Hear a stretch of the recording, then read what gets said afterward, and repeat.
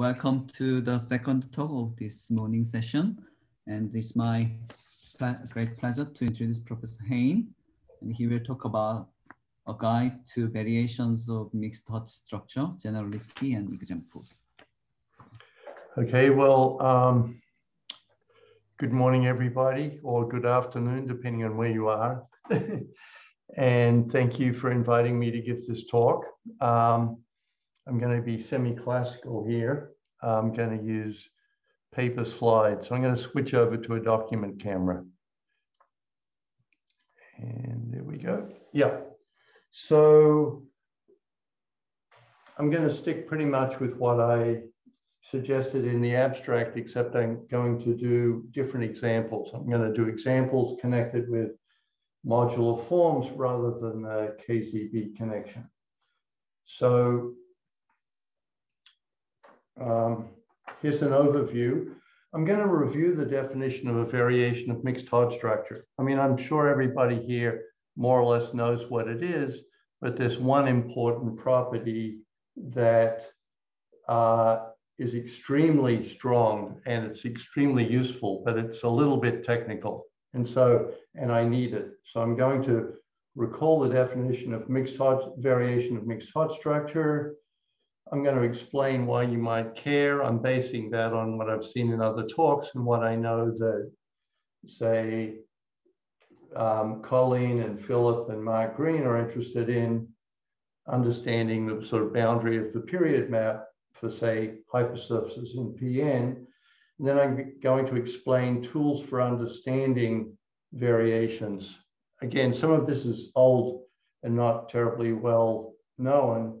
And then I'm going to do some examples but like I said, I'm not going to do KZB, but I will do just some simple extensions associated with classical modular forms because they're quite instructive. So um, a variation of mixed Hodge structure. So we're going, the base is going to be a smooth variety. So at the moment, this is a smooth, say smooth projective variety going to be the complement of a divisor with normal crossings inside a, say, projective manifold. And so the first piece of data is a local system of finite dimensional rational vector spaces. It's endowed with a weight filtration. So it's defined over Q. And so these are going to be, it's a filtration by sublocal systems V will denote the canonical extension of, uh, so Deligne's canonical extension of the associated flat connection over X, but it extends to X bar. That's Deligne's extension.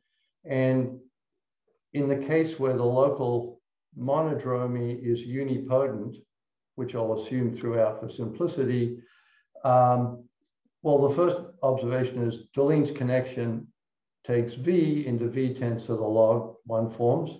So it's a connection with regular singular points. And it's characterized by the property that all the residues of the connection are nilpotent in the case when the local monodromy is unipotent. And so this is a very common occurrence in algebraic geometry. And if you're not in that situation, you can always get into that situation by a local base change. All right. So I'm going to assume that all the residues are nilpotent or equivalently that the monodromy is locally unipotent. So we also require a Hodge filtration of Deligne's canonical extension. Right, so this is the extended bundle and um, the Hodge filtration is required to satisfy Griffiths transversality so that if you differentiate something in FP, you go in FP minus one. I actually also like to just think of this is just FP. Sorry, this is just FP, right? It's FP of um, V tensor omega 1. So the connection preserves the Hodge filtration. And so what are the axioms? So the first one is obvious, is that each fiber of the rational local system has a mixed Hodge structure uh, with the Hodge filtration cut out by the Hodge filtration of the corresponding flat vector bundle. And this is for each x in x. So the graded, the weight graded quotients of V with this Hodge filtration is a polarized variation of mixed Hodge structure, sorry, polarized variation of Hodge structure. Sometimes you can get away without having a polarization, but we'll assume it. And so the more subtle conditions are the conditions at infinity. So one way to say this is for each analytic arc through the divisor at infinity. So it just intersects the divisor in a point P. Um, so you can restrict you can restrict the variation to this guy here. In particular, you can restrict the connection. So to this disk, and you can take the, um, so here NP is just going to be the residue of delta restricted, nabla restricted to this disk. So it'll be the residue of P of nabla restricted to this disk. So you'll get this local uh, residue map, and it acts on the fiber of the Deligne's canonical extension at that point, and it preserves the weight filtration. And so we require, so this is the fancy condition, the technical condition, but it's extremely useful and powerful. So we require that this NP, this local monodromy logarithm, have a relative weight filtration. All right, so I guess I wrote this here. So this is a nilpotent operator operating on the fiber of Deligne's canonical extension over this point. So Deligne's canonical extension is a bundle over the whole thing. It's got a fiber over P. And now, so let me explain what a relative weight filtration is. So the abstract setting is we have a vector space over a field of characteristic zero with a nilpotent endomorphism. So for example, here, there's going to be a second piece of data, which is this filtration. But before I get to that, uh, recall that if you just have a nilpotent endomorphism of V, N has a weight filtration. So this is a, an increasing filtration. So you'll have WK contained in WK plus one and so on. And this monodromy weight filtration of N, or this weight filtration of N, is characterized by two properties. One is that N lowers weights by two. And the second one is that N to the K takes the kth graded quotient into the minus kth graded quotient. So N lowers weights by two, and here N to the K lowers weights by 2K. And it's easy to use Jordan form to prove that these things exist, this filtration exists, and it's unique. So this is unique. And it's basically just Jordan canonical form. All right. So now we're in the situation where, in addition to just having a nilpotent endomorphism, we also have a weight filtration. So, so we're assuming now, yeah, before I get to that, if we sort of think of V as having weight M, we can shift this monodromy weight filtration just formally so that it has, and I'll call this new filtration M, for M for monodromy filtration. And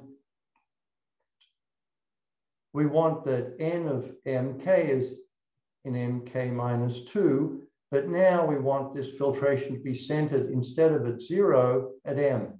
So N to the K will go from graded M plus, M plus K to graded M minus K. All right, so that's exactly what you're all familiar with in the case of limits of Hodge structures. This would be the monodromy weight filtration associated to a variation of Hodge structure of weight M. But now here, um, so here's the definition. the situation is we have a nilpotent endomorphism of a finite dimensional vector space with a increasing filtration. The nilpotent endomorphism has to preserve W. And we're going to say that a filtration M is a relative weight filtration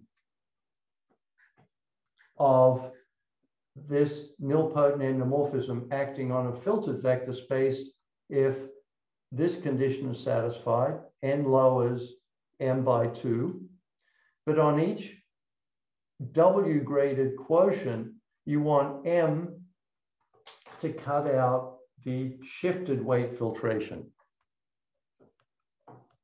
Right, so this is not, it's not this guy that's centered at zero. It's the guy that is centered at M, right? So, so uh, that's it. And if it exists, it's unique. So it's unique if it exists.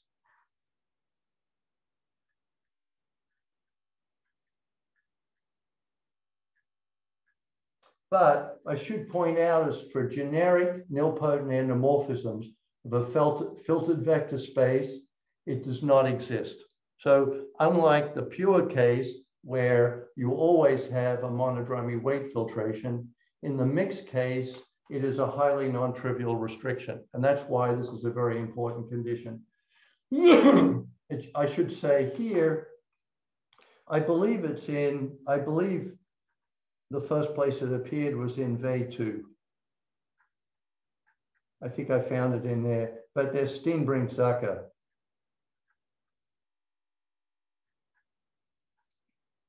I should say, by the way, that this definition of variations of mixed Hodge structure is due to Steenbrink-Zucker with additions by other people like Kashiwara. But um, so they wrote down this condition where the base was a curve all right, so let me give you an example of where it doesn't exist. And you can think of, um, well, when we get to the relevant theorem, you can think of this condition as being a restriction on the local topology of degenerations of either singular varieties or non-smooth varieties or homotopy groups, whatever. So here's the example. So my vector space is going to be three-dimensional. It's going to have a weight filtration so it's going to have, so um, dim v is equal to three. So um, GRW0 is isomorphic to Q. Here it is up here. So the weight filtration is going this way, and this should be W minus one, by the way. Yeah um, GRW minus one is isomorphic to Q squared. And you could think of this as being something like H1 of an elliptic curve. And my nilpotent endomorphism, um, it's got to preserve W. So on the bottom piece, I'm just going to make it this map here. So this will be just an isomorphism.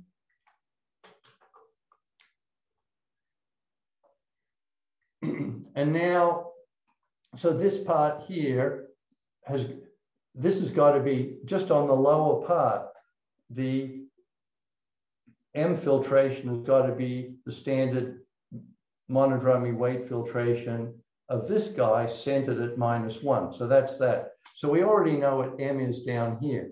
Now, if N happened to take this Q into that Q, then there's no relative weight filtration because this thing, where this guy has to be in graded M0. The, the M filtration on this graded quotient is just centered at zero, it's trivial. And if N happened to take this Q into that Q, there's no relative weight filtration. The relative weight filter, the only way you can get a relative weight filtration is if N takes this Q into this Q of one, right? So um, it's really easy to write down examples where the relative weight filtration does not exist. All right, so and now we still haven't finished the definition of a variation. Um, so what we require is that for each P in the divisor, so we're back to the situation where we have our um,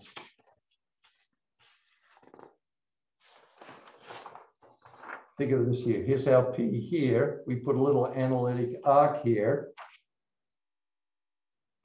We've got our fiber of Deligne's canonical extension with its Hodge filtration, but now it has this relative weight filtration. So this is the relative weight filtration. We require it to exist. So now we're using it. So this is a mixed Hodge structure, and I have to tell you what the Q structure is. And the Q structure I'm going to call VDDT is just the limits of flat rational sections. So V, these in general will be multi-valued, but if I take my um, tangent vector here, so the parameter in that disk is T, and this will be DDT, is my vector here, I can take some sort of angular sector around it, which is um, simply connect, it'll be simply connected. And now I can look at flat sections of VQ in this section, and I take the limits as t goes to zero of t to the minus this monodromy logarithm times these flat rational sections. And the theory of ODEs with regular singular points will tell you that this is a Q form of this vector space. So the Q form is going to depend on the DDT. So in other talks, people did things the other way around. They, they view the sort of rational structure as being constant and the complex thing is, you know, the Hodge filtration is moving around. For topological and geometric reasons, I like to think of this guy fixed. It's the fiber of the canonical extension and the rational structure is moving as I move this tangent vector. And I should say this mixed Hodge structure, it depends only on T to first order. So it depends only on this tangent vector in this picture. It does not depend on the disk or its parameterization. It only depends on DDT. And that's another important um, fact, but that goes, that's way back in Schmid's original paper on variations of Hodge structure. All right, so um, so the this would all be useless if there were no limits of mixed Hodge structures didn't exist or variations of mixed Hodge structure. And so there's a theorem and it says that if you have a topologically locally trivial family of varieties, they could be singular, they could be non-compact. All you require is that they be topologically locally trivial. Then you can take these push forwards here, so the local systems of HK with rational coefficients, and this will underline an admissible variation of mixed Hodge structure over X in the following cases. If the fibers of F are smooth, right? So if they're smooth and compact, that's Schmid. If they're just smooth, that's Steenbrink-Zucker. They proved that sometime in the 80s. If F is general, it was proved by Guillen, Puerta, and Navarro Aznar around the same time. That's some spring lecture notes in math. And a lot of it follows again from Morihiko Saito's work on Hodge modules and mixed Hodge modules. But anyway, it's, it's general. And in addition, I'll be vague, but if I have, um, again, a topologically locally trivial family of varieties, and I have two sections, um, then I have a local system of fundamental groupoids. So on each fiber, I so I've got a, a family of varieties here that's locally topologically trivial, and I have two sections, say A and B, and on any fiber over X, I can take the fiber YX and I, I can look at paths from this point to that point that are in the fiber. And now um, we could look at various completions of this path torsor, and I'll discuss those later on, but their coordinate rings will form a direct limit of variations of, of, of yeah, they will be ind objects in the category of admissible variations. So in other words, these variations, yeah, each fiber has a mixed Hodge structure and these mixed Hodge structures behave very well when you go to infinity. So anyway, so the next thing I want to discuss is why do we care about, why might you care about admissible variations of mixed Hodge structure? So one example that's occurred in various talks is the following. Um, X may be the moduli space or moduli stack of smooth projective varieties of a certain kind. For example, hypersurfaces of some degree in projective space. And X bar may be some natural compactification where the divisor at infinity is a divisor with normal crossings.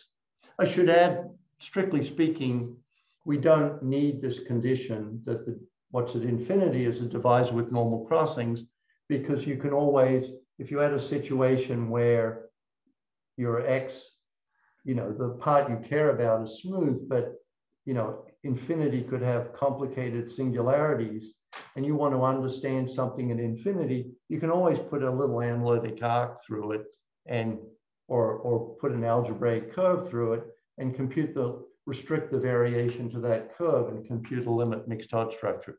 You can always do that. So strictly speaking, you don't need to have X bar smooth and you don't need it to be um, the complement to be a divisor with normal crossings. But anyway, I'll, I'll assume we're in the normal crossings case, and maybe we have a normal vector field along an open stratum of the boundary.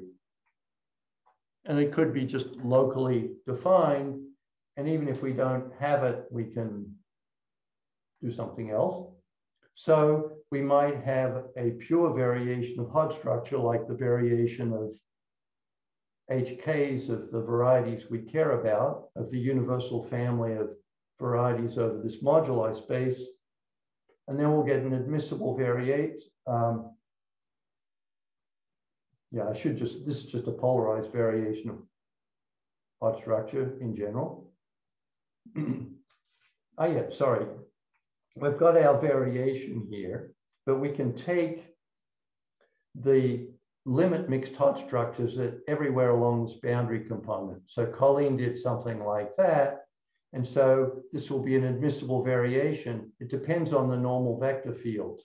If you don't like this, instead, we could get a nil, a family of nilpotent orbits, and that nilpotent orbit would live on all the normal, would live on the normal bundle of this stratum, right? We would get a variation. So for every tangent vector here in the normal bundle, we would get a limit mixed Hodge structure. And now um, I should have mentioned previously that I, I didn't do it, but in if you have a limit mixed Hodge structure, NP takes the this limit into this limit is a morphism of type minus one.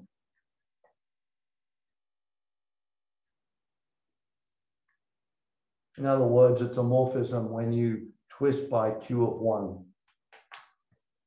Right, so um, this is a morphism, so fiber by fiber, if you want, you can take invariance or co-invariance of n and get a variation just over d itself, and Colleen did something like that.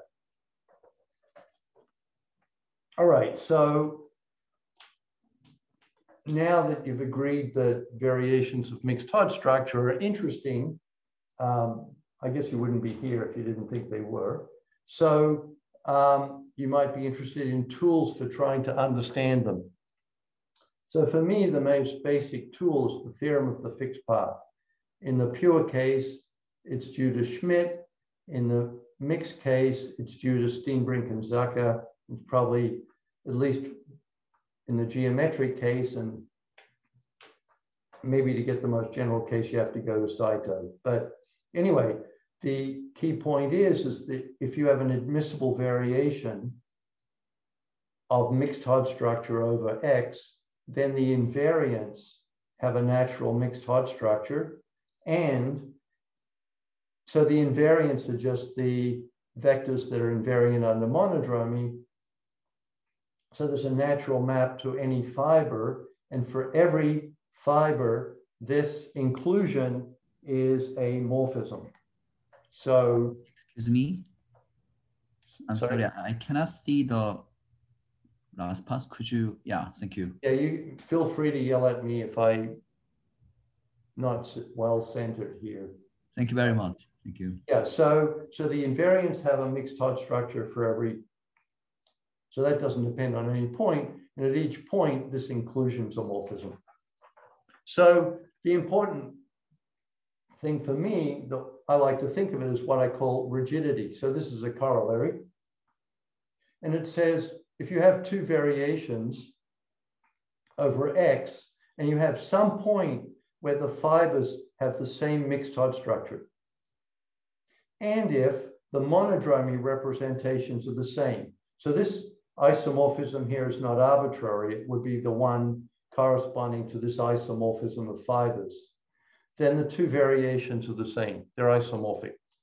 So, you know, in the vernacular, it's just saying a variation is determined by one fiber and its global monodromy.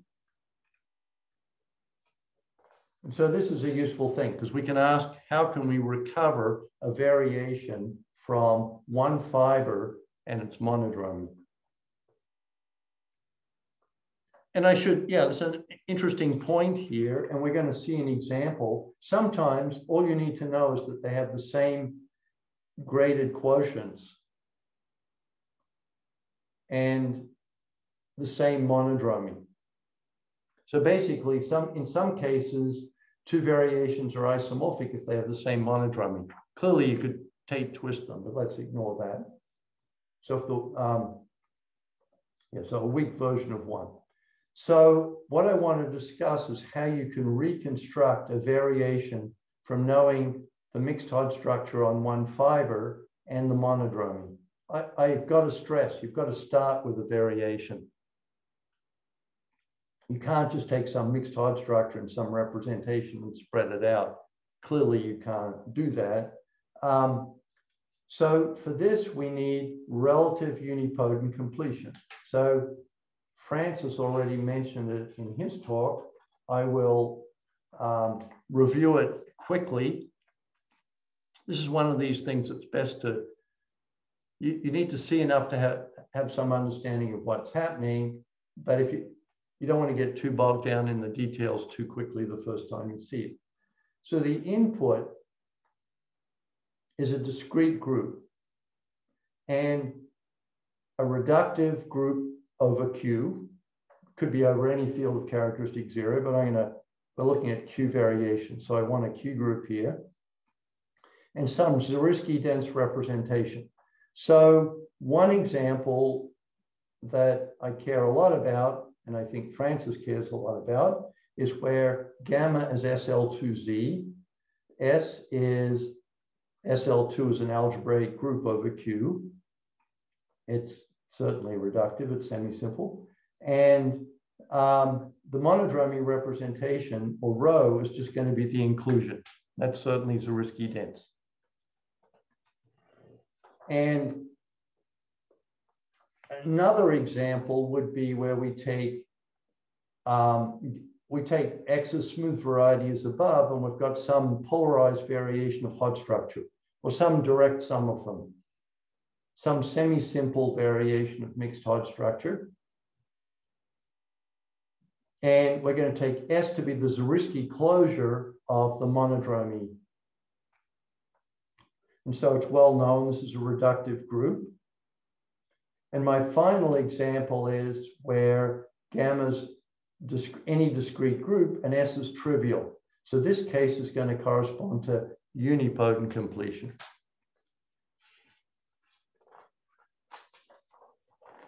Let's see, it might.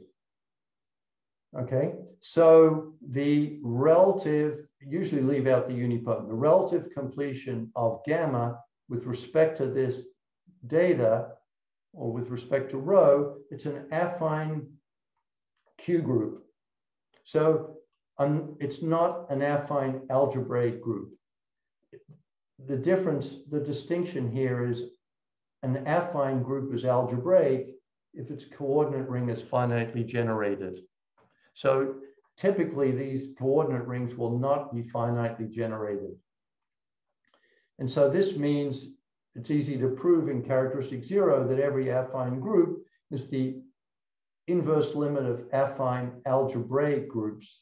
So this will be a pro-algebraic group. It'll be an inverse limit of algebraic groups, and it's going to be an extension of your original group, your original reductive group, by a pro-unipotent group. So pro-unipotent means inverse limit of unipotent groups. And there is also a Zariski dense homomorphism from gamma into GQ that lifts rho. And what this means is that you've got this homomorphism from G to S. This will map into SQ. Sorry, but could you could you repeat the paper again? Sorry. Yeah. Sorry. Yeah. Just uh, yell at me when I go when I the page is too high. Okay. So this homomorphism will um, yeah, this one lifts rho. And you should just think of this as the most general homomorphism of, of this kind that's Zariski dense and lifts rho. It's the most general group that you can find. And um, yeah, there it is. It's the most general such G. And it's characterized by a universal mapping property. Maybe I'll write that down. So what would the universal mapping property be? I'll, I'll omit rational points. But suppose I had some group that's an extension so this is some affine group that's an extension of S by U. So it might be the monodromy of your variation. The Zariski closure of the monodromy representation of your um, unipotent variation. And suppose you have a homomorphism into it, which lifts rho. Then there's going to be a homomorphism from the universal guy here. This will be rho hat. So the homomorphism you have from gamma into the rational points of this group is going to factor through the universal guy. There'll be a unique way to factor this here by some, we'll call it phi twiddle. Right, so this guy induces this guy here. and if you like, G is just going to be the inverse limit of over all such representations phi that are Zariski dense. I'll call that. Right? If you took the inverse limit of all of these pictures, where this guy is Zariski dense, you would obtain this guy here. So it sounds sort of abstract, but there are concrete tools for understanding them, and you can write them down explicitly in good situations. All right, so um, I just gave you the naive constructions in an inverse limit. You can also use Tannakian machinery, as Francis explained to construct it. For example, in the unipotent case, you would just take the category of unipotent representations of gamma, its Tannakian, you take its Tannakian fundamental group, and that's the unipotent completion. All right, so there's also a de Rham theory. So in the case when gamma is the fundamental group of a smooth manifold or a smooth variety. And S is the Zariski closure of the monodromy representation of some local system over your X.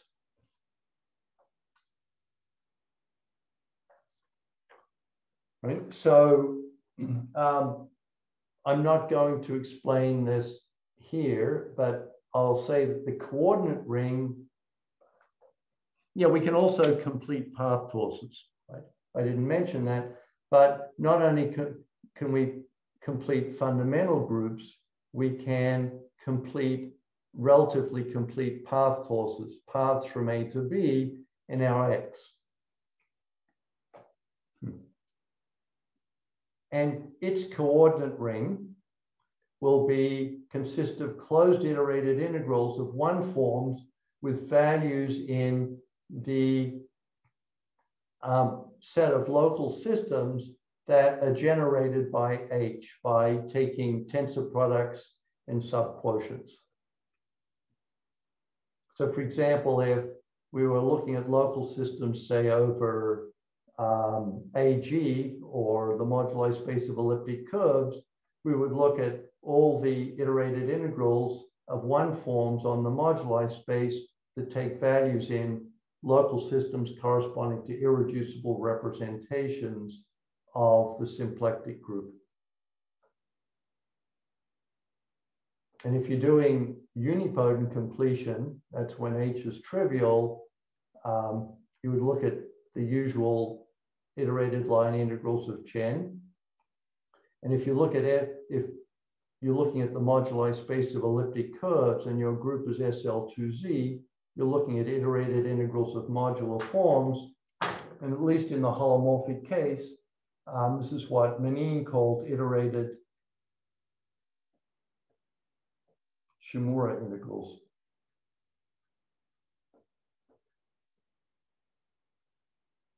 So this is, and Francis Brown has also, um, Mean, he's got a big project to try to understand the periods of these guys. It's called uh, multiple modular values. Mm -hmm. So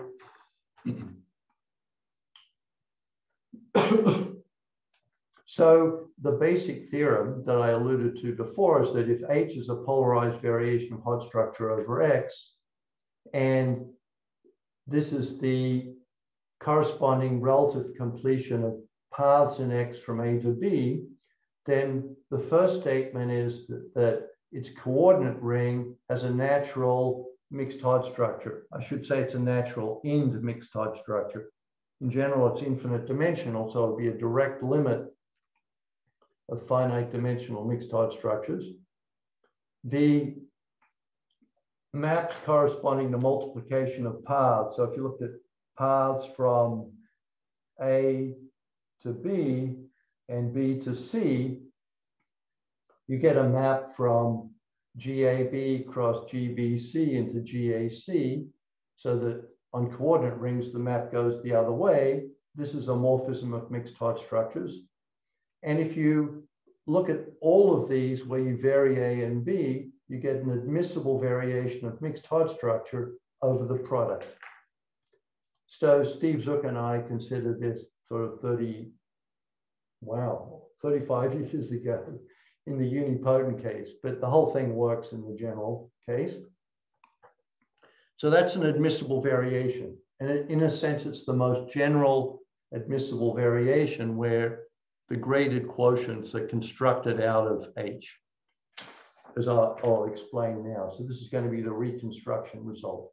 If you look at all variations whose graded quotients are built out of subquotients of tensor powers of H, maybe tensored with a trivial Hodge structure, sorry, with, with a constant Hodge structure, then um, somehow they're all built up out of this guy.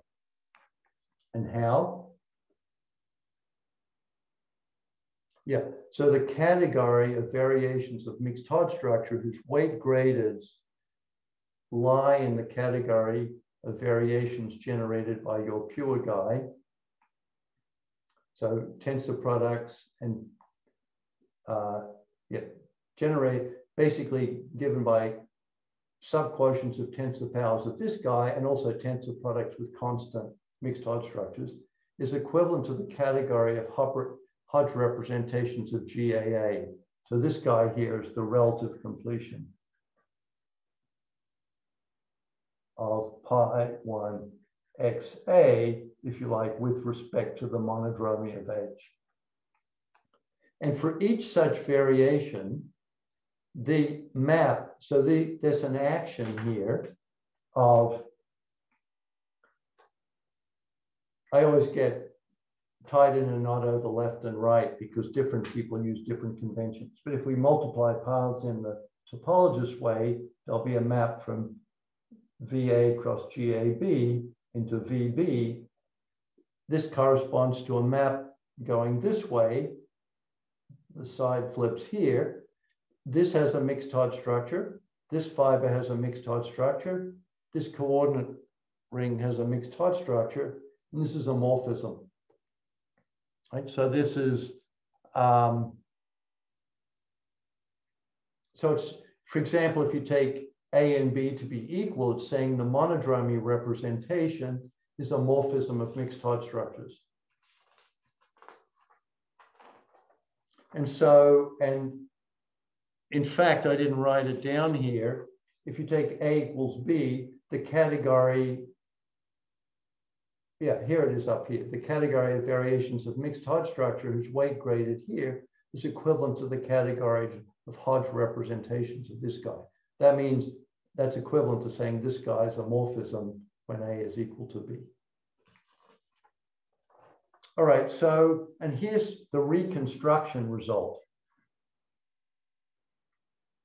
So I asked before, how can you um, reconstruct a variation out of one fiber and the monodromy representation? Well, this is it here. If you know VB and you know the monodromy action, this is telling you that you can work out VA because this map is always injective.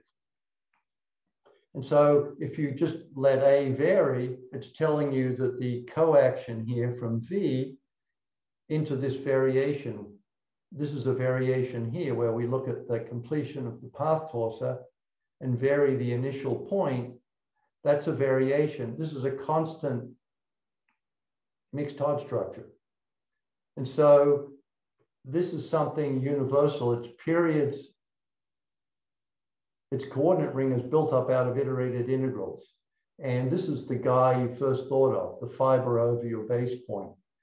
And this is telling you that all the periods everywhere are built up out of the periods of the fiber over your base point, and they're altered by basically matrices whose entries are iterated integrals of differential forms with values in just variations constructed out of your original H. And so this is somehow why iterated integrals appear in this story so much. All right, so I want to quickly give you an arithmetic consideration. So um, a lot of, you know, I'm, I know quite a bit about moduli of curves, but I don't know about moduli problems in general. But my impression is that if you have a moduli space, typically moduli spaces are defined over very small rings. So for example, the moduli spaces of curves are always defined over Z, and they're smooth when they're reduced mod P for all P. So in general, we, I assume that moduli spaces have models over some ring of integers in a number field, and so does their completion, and that these models, the whole story will have good reduction outside some, fi some finite set of primes. And also, if we take a tangent vector v here of the boundary, that is defined over this ring of integers and is non-zero at all primes in this ring of integers, then what you would expect is the limit of any the, the standard canonical variations here you would get in this moduli problem at this point would be Hodge realizations of motives over this unramified over this ring of integers. Ah, And that's going to, sorry? Could And you, so, ah, you went up here. thank you. I can take pictures of all these slides and give you a PDF or something. But, right. So the point is, if we go back to this slide here, to understand the variation, you need to understand the monodrome, you need to understand one fiber. And in this story here, this B can be tangential, can be a tangent vector. So I'm trying to say, how can you find a fiber where you can say what the periods are? And I'm saying if everything, if it if it has some sort of arithmetic significance, then you can at least reduce the set of periods that you expect to find in this limit mixed Hodge structure. And I want to finally, if I get to it, give examples of where that might be the case. So in this case, you would expect that this guy here is the Hodge realization for appropriate H of a motive over of K unramified outside of S. Yeah, so for the fundamental group and for the fiber of the local system. So here's an example. If we look at, this is a, an example that Francis and I care a lot about and spend a lot of time thinking about, is that X would be M11 over Z. And um, this, this thing's a stack over Z. V is ddq. And I claim this tangent vector is integrally defined. That follows from the standard integral model of the Tate curve. And it's non-zero all P because the discriminant of the Tate curve is equal to something like Q times the product of 1 minus Q to the n to the 24th. And that, and this is in Z Q, and you can, if you reduce the Tate curve mod P, it's just this thing mod P. And if you remod it, if you take it mod Q squared, which is taking this tangent vector, it's always non-zero because it's just Q mod Q squared. It's non-zero for all P. So this is an example, this is non-zero all P. So therefore you would expect, and we're going to take H to be the standard rank two local system, the, the canonical variation that occurs in the SL2 orbit theorem. It's the most canonical thing on the planet. All right, so we, with that in mind, we're going to look at some examples. Again, X is M11. Again, we're going to think of it as an analytic orbifold now. We're going to do Hodge theory, but we're going to sort of, we're going to take these base point, this base point here, because it's got arithmetic significance. So the periods of our variations at this tangent vector should be motives unramified over Z or periods of them. And so therefore, they should be subject to all sorts of conjectures. And again, this is, I should say, I don't want to take too much credit here. This is Francis's program or related to it, his program of multiple modular values and mixed modular motives. So it's trying to do for modular motives, modular forms, what the theory of multi-zetas does to uh, mixed Tate motives. All right, so we've got X is M11. We've got our universal elliptic curve. We've got our local system H, rank two. X is the orbifold quotient of the upper half plane. We can include, it's actually not an inclusion, but we can take D star, the puncture disk maps into here. Parameters Q equals e to the 2 pi i tau. and we're going to, H is going to be the canonical extension of H tensor O to M11. We're going to be a little bit careful about what this means here because, you know, this is, this is a stack as um, came up in Nick's talk. but there's various ways to handle this. This H is an extension of F1 by graded or graded F0 by F1. Um, the kernel here is the standard line bundle with factor of automorphic C tau plus D, and that's the one modular sections of its nth power are just um, modular forms of weight m. And I should say here, this guy splits. You can see this directly. So this is really a direct sum of L and L inverse. This follows because it'd be the same as an extension of O by L squared, and that's the same as a modular form of weight two. So that's a quick and dirty proof. You can write down explicit splitting of it. Um, all right, so let's try to understand just simple extensions of Q by some power of H tensored with some constant Hodge structure. And I'm going to assume that M is positive because um, if M is zero, well, it's easily handled. So the first theorem, and this is really a special case of a more general theorem, says that extensions in the category of admissible variations over M11 is the same as the Deligne cohomology of M11 with these twisted coefficients. And you just define Deligne cohomology with coefficients in a variation in the obvious way. Oh, good. It's in a paper I wrote um, with a very bad title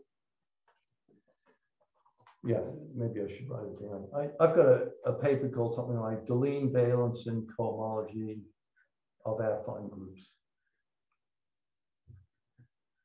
And I think it's in, yeah, I, I don't know where it is, but it's probably somewhere. Anyway, but we have this guy here. And what this does is it leads us to a short exact sequence, standard short exact sequence for Deligne cohomology. The kernel is Ext1 of q by the cohomology in the degree one lower. But we're assuming that m, m here is positive. So this guy, h0, is zero. There are no invariants because this is an irreducible representation of SL2. So there are no invariants. And gamma here just means Hodge classes, Hom from the trivial Hodge structure into here. So this guy has to be an isomorphism. And so let's try to understand what this guy is here. So I think various things get called Eichler-Shimura, but one thing I call Eichler-Shimura says that H1 of M11 with coefficients in this variation. So this variation has weight M. It's going to be the cuspidal cohomology, uh, this part here, and this part here will have weight m plus one. And it's the same as the intersection homology. And then it has another part here. This corresponds to, it's spanned by the Eisenstein series. I'll, I'll write this down on the next slide. But so this part here, this part has weight uh, 2m plus 2. So you get two weights here m plus one, which is the cuspidal part, and twice that, which is the part coming from Eisenstein series. And um, all right, so whoops. Yes, so the corollary here is that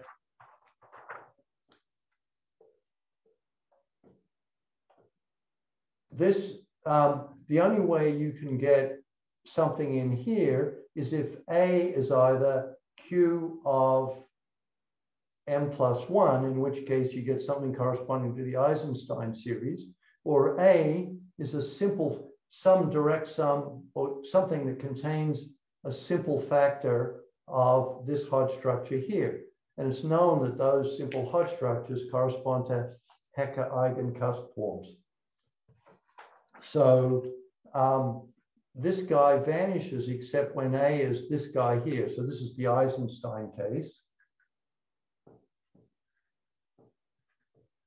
And or A, A, I should say, contains a simple factor of this Hodge structure here, or its dual, I, I should say. And so there, this just leads us to looking at two basic examples, either an extension of Q by this variation, and that's going to correspond to the, uh, the Eisenstein series of weight 2n plus 2, or this one here, which corresponds F as a, a Hecke eigenform of weight, uh, yeah, sorry, I should just put M plus two here. I should have mentioned over here that this thing will vanish when M is odd. For SL2Z, you only get cohomology when M is even. So um, M of weight M plus two. And it's to be understood that M here is even. And so that's the dual of the Hodge structure of a Hecke eigencusp form. So I'm going to try to write these down. I've got a few minutes. So, and I just want to write down the limit at DDQ to illustrate this fact that the periods of these things have arithmetic significance. And the way you spread out the limit mixed Hodge structure is by integrating the modular form in the upper half plane. So I should point out that if you look at our local system here, what's the limit mixed Hodge structure? It's, this is in fact a Z variation.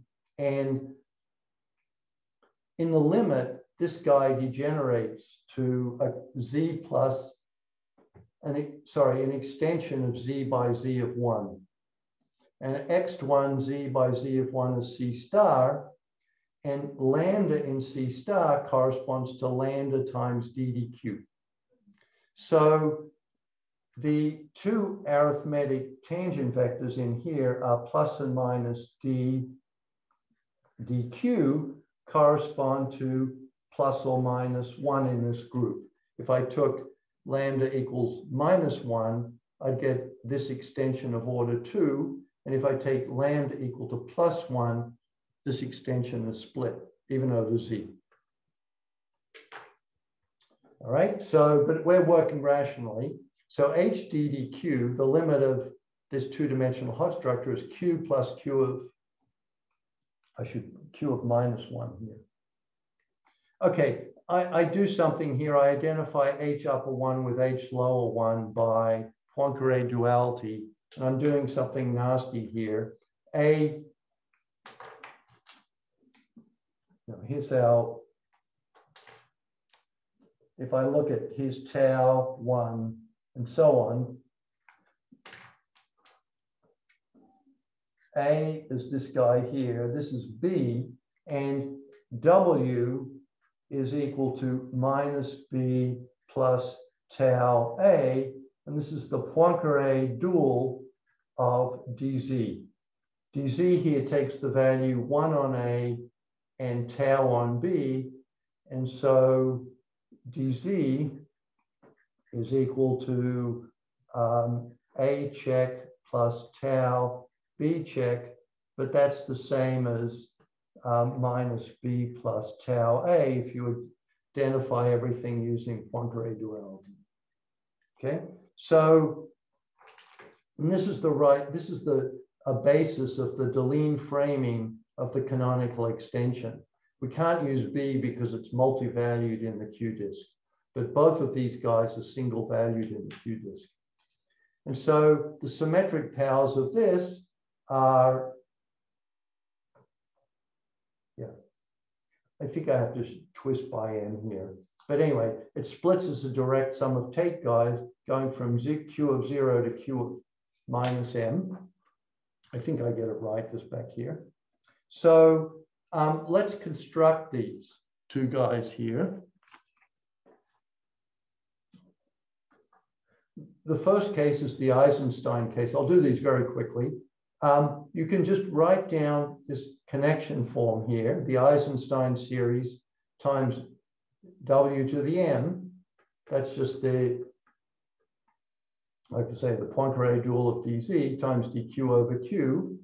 And we take the local, the vector bundle is just going to be the direct sum as a holomorphic vector bundle of this symmetric power of h and this with this connection. It's flat and it has obvious Hodge and weight filtrations.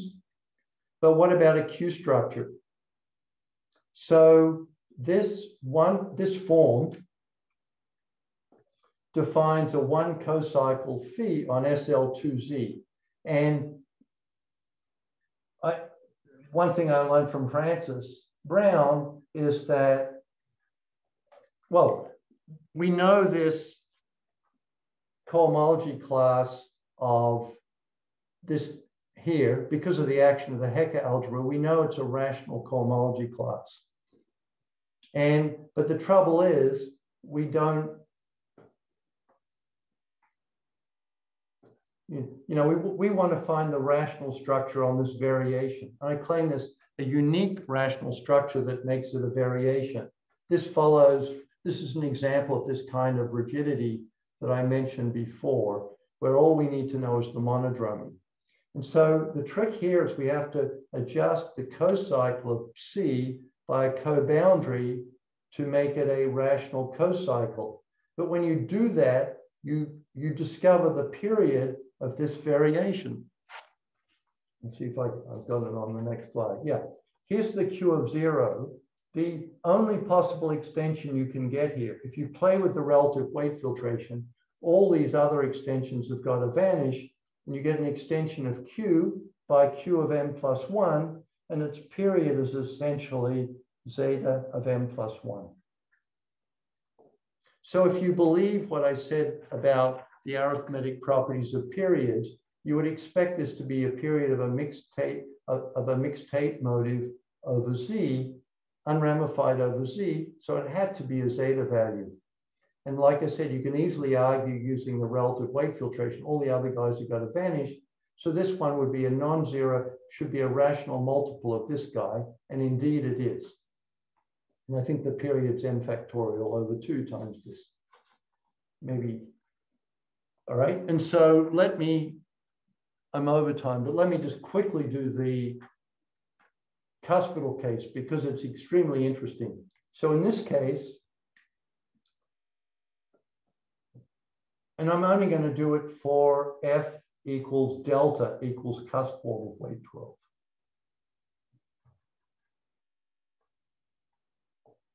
And I'll do it extremely quickly because this has a different property. In this case, this has weight 10. VF has weight 11. So this has weight minus 11. So this guy here has weight minus 1. So this is an extension of Q by something of weight minus 1. I don't know where this occurs in geometry. So we look at this guy here, and it is not split as a holomorphic vector bundle. So in the Eisenstein series case, this the Deligne's canonical extension split at split it, I never know, split, splat, splat, splat as a holomorphic vector bundle. Here it does not. So I'm going to write We've got the Petersson inner product, so we can identify V dual with V twisted by 11. And as a C infinity vector bundle, this guy is the direct sum of just the trivial bundle plus this guy here. You can write down a flat connection on it. And nabla zero just means the connection on H, the standard connection and there's this part of it. Then you add this one form. So V is a Hodge structure of type 11, 0, and a 0, 11. This is the form corresponding to delta.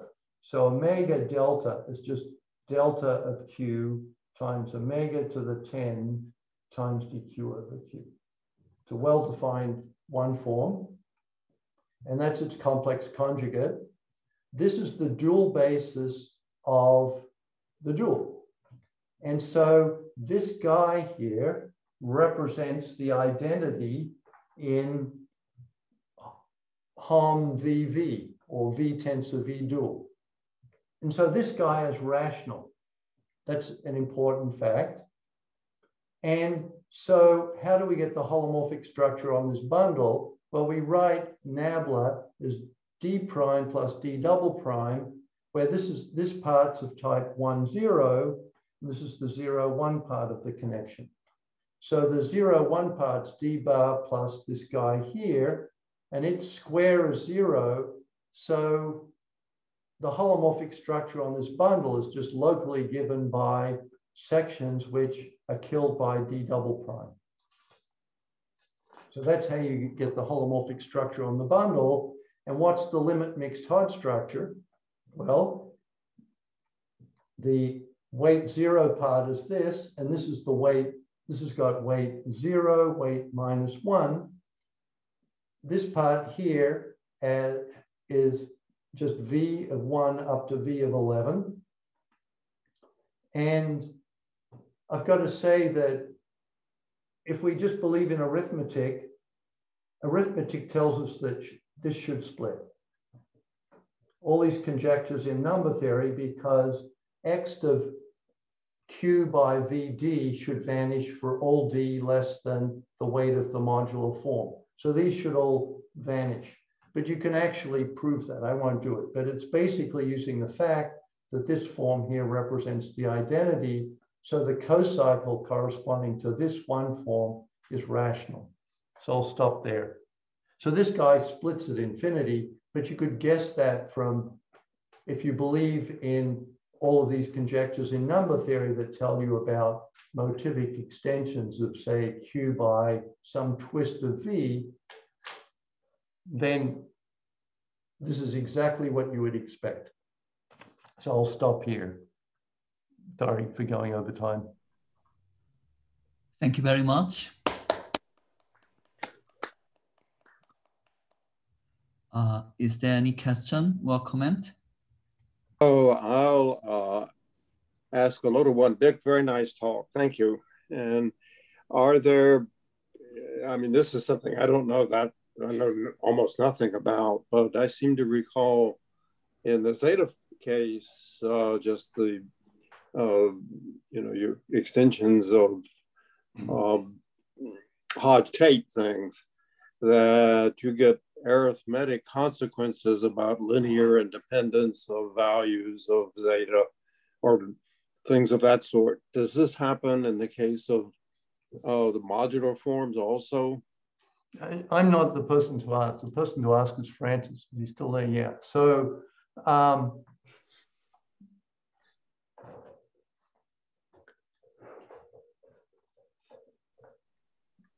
yeah, I mean, I think in the case, oh, Ms. Francis, you can go ahead. Go ahead. I thought you were um, passing the question to me, but I'd much rather that you answered it since you're giving the talk.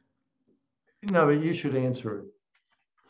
Um, um, well, I, am not sure I completely um, understand the the, um, the, the sense of the question, but but yes, the the idea is is is definitely that we want to um, uh, sort of mimic all the things that you can show for um, mixed Tate motives and multiple zeta values and P1 minus three points and carry that across to the, the modular setting. Um, so, but a lot of the, the, the, numbers and the structures involved are new.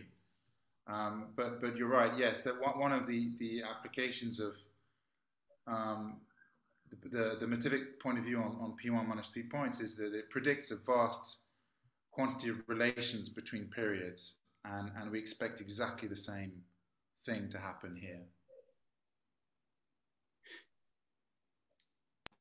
Hmm. Okay, thank you. Other, other questions or comment? Okay, if not, yeah, let's thanks to Professor Hain for his beautiful talk. Thank you. Thank you very much. So we will resume at 1 p.m. So yeah, and uh, so see you see you at the time. Thank you very much.